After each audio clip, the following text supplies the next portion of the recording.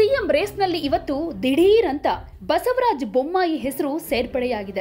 ಅಚ್ಚರಿ ರೀತಿಯಲ್ಲಿ ಇವರ ಹೆಸರೇ ಫೈನಲ್ ಕೂಡ ಆಗಿದೆ. ಅರವಿಂದ್ ಬೆಲ್ಲದ್, ಕೇಂದ್ರ ಮಂತ್ರಿ ಪ್ರಹ್ಲಾದ್ ಜೋಶಿ, ಮುರುಗೇಶ್ ನಿರಾಣಿ, ವಿಶ್ವೇಶ್ವರ ಹೆಗಡೆ ಕಾಗೇರಿ ಸೇರಿ ಅನೇಕರ ಹೆಸರು ಈ ಸಿಎಂ ರೇಸ್ನಲ್ಲಿ ಹರಿದಾಡ್ತಾ ಇತ್ತು. ಫೈನಲಿ ಬೆಲ್ಲದ್ ಬೊಮ್ಮಾಯಿ ಹೆಸರು ಫೈನಲ್ ರೇಸ್ನಲ್ಲಿ ಉಳ್ಕೊಂಡಿತ್ತು. ಕೊನೆಗೆ ಯುವ ಮುಖ ಅರವಿಂದ್ ಬೆಲ್ಲದ್ ಅವರನ್ನ ಮೆಟ್ಟಿ ನಿಂತು ಬಸವರಾಜ್ ಬೊಮ್ಮಾಯಿ ಸಿಎಂ ಗಾದಿಗೆ ಆಯ್ಕೆಯಾಗಿದ್ದಾರೆ. ದಿವಸಗಳಲ್ಲಿ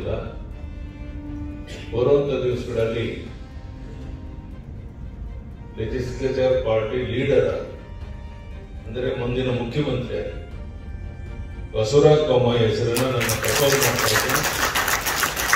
ಅದಕ್ಕೆ ತಾವೆಲ್ಲ ಸಹಮತವನ್ನು ವ್ಯಕ್ತಪಡಿಸಬೇಕು ಅಂತೇಳಿ ನಾನು ಈ ಸಂದರ್ಭದಲ್ಲಿ ತಮ್ಮಲ್ಲಿ ವಿನಂತಿ ಮಾಡ್ತೇನೆ. ಅವರಿಗೆ ಶುಭವನ್ನು ಕೋರ್ತೇನೆ. ಧನ್ಯವಾದಗಳು. ನಮಸ್ಕಾರ. ಬಸವರಾಜ್ ಬೊಮ್ಮಾಯಿ ಸಿಎಂ ಆಗಿ ಆಯ್ಕೆಯಾಗೋದಕ್ಕೆ ಕೆಲವು ಕಾರಣಗಳನ್ನ ನಾವು ಹೇಳ್ತೀವಿ. ಒಂದನೇ ಕಾರಣ, ಅವರಿಗಿದ್ದಂತಹ ರಾಜಕೀಯ ಅನುಭವ ಹಾಗೂ ಚಾಣಾಕ್ಷತನ. ಇನ್ನೊಂದು, ಸಂಯಮಿ ಹಾಗೂ ಹಾಗೂ ಮೃದು ಸ್ವಭಾವ ಬೊಮ್ಮಾಯಿ ಅವರದ್ದು. ಮೂರನೇ ಕಾರಣ, ಬಿಜೆಪಿ ಸೇರಿದ ಮೇಲೆ ಅವರು ಪಕ್ಷ ನಿಷ್ಠೆಯನ್ನ ತೋರಿದ್ದಾರೆ. ನಾಲ್ಕನೇ ಕಾರಣ ಬಿಎಸ್ವೈ ಕೆಜೆಪಿ ಕಟ್ಟಿದಾಗ್ಲೂ ಕೂಡ ಬಿಜೆಪಿಯಲ್ಲೇ ಉಳ್ಕೊಂಡಿದ್ರು.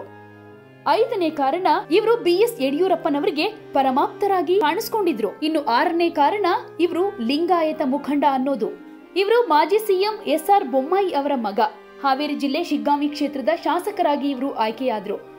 ಬಿಎ ಮೆಕ್ಯಾನಿಕಲ್ ಪದವೀಧರರಾಗಿರೋ ಬೊಮ್ಮಾಯಿ ಯುವ ಜನತಾ ದಳದಿಂದ ರಾಜಕೀಯ ಜೀವನವನ್ನ ಶುರು ಮಾಡಿದ್ರು. ಜೆಎಚ್ ಪಟೇಲರ ರಾಜಕೀಯ ಕಾರ್ಯದರ್ಶಿಯಾಗಿ ಕೂಡ ಸೇವೆ ಸಲ್ಲಿಸಿದ್ದಾರೆ. ಸ್ಥಳೀಯ ಸಂಸ್ಥೆಗಳಿಂದ ವಿಧಾನ ಪರಿಷತ್ಗೂ ಕೂಡ ಆಯ್ಕೆಯಾದ್ರು. ಎರಡ್ ಸಾವಿರದ ಎಂಟರಲ್ಲಿ ಬಿಜೆಪಿಗೆ ಸೇರ್ಪಡೆಯಾಗಿ ಶಿಗ್ಗಾಮಿಯಿಂದ ವಿಧಾನಸಭೆಗೆ ಆಯ್ಕೆಯಾದ್ರು. ಬಿಎಸ್ವೈ ಟಿವಿಎಸ್ ಶೆಟ್ಟರ್ ಸರ್ಕಾರದಲ್ಲಿ ಸಚಿವರಾಗಿ ಕೂಡ ಕೆಲಸ ಮಾಡಿದ್ದಾರೆ. ಹೀಗೆ ಸಾಕಷ್ಟು ರಾಜಕೀಯ ಅನುಭವದ ಜೊತೆಗೆ ಪಕ್ಷದಲ್ಲಿ ನಿಷ್ಠೆಯಿಂದ ನಡೆದುಕೊಂಡಿದ್ದರ ಫಲವಾಗಿ ಇವತ್ತು ಸಿಎಂ ಸ್ಥಾನ ಒಲಿದು ಬಂದಿದೆ.